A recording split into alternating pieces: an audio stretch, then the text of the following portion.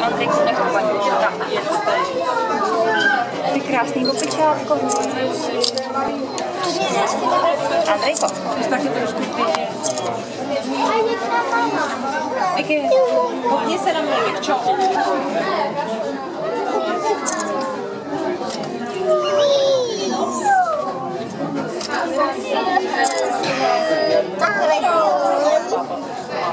Ahoj. Nech paní. Andrejku.